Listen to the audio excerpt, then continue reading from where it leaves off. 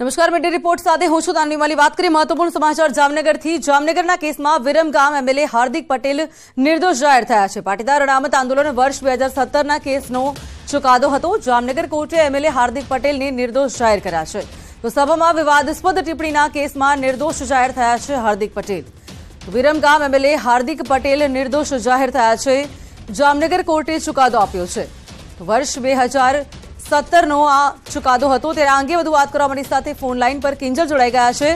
કિંજલ, બે હજાર સત્તરના અત્યારે હાલ હાર્દિક પટેલને લઈને ચુકાદો આપવામાં આવ્યો છે. તેમને નિર્દોષ જાહેર કરાયા છે. શું છે વધુ વિગત?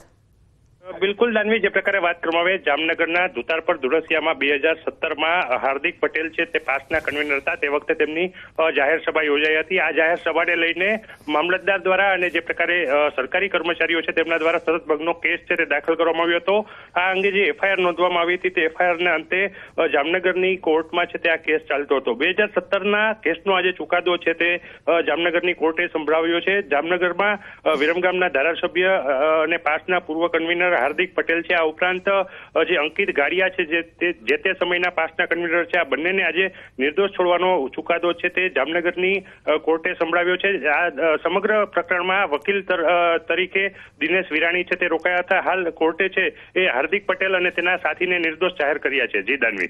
ચોક્કસ. કેન્જલ જોડાઈ સમગ્ર માહિતી બદલ આપનો આભાર.